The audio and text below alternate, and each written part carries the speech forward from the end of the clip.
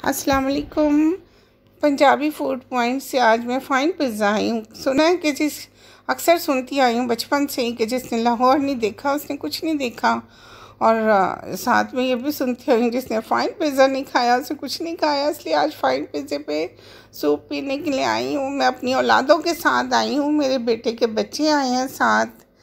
तो बच्चे इन्जॉय कर रहे हैं, झूले झूल रहे हैं।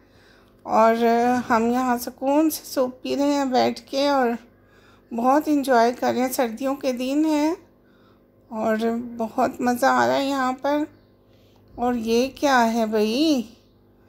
ये टेस्ट के लिए दिया ये झुंगा है? अच्छा ये झुंगा तो बहुत अच्छा है। ये तंदूरी चाँप है। तंदूरी चाँप इसके साथ ये फूल किस चीज़ का है? मूली का फूल है। अच्छा। शलजम का फूल है, सॉरी, ये शलजम का फूल है और ये घी के बगैर चाँपे तंदूर में बनाई है, ये ज़रूर में, मैं तो रोज़ाना आया करूँगी फ़ाइन पिज़्ज़ा खाने के लिए।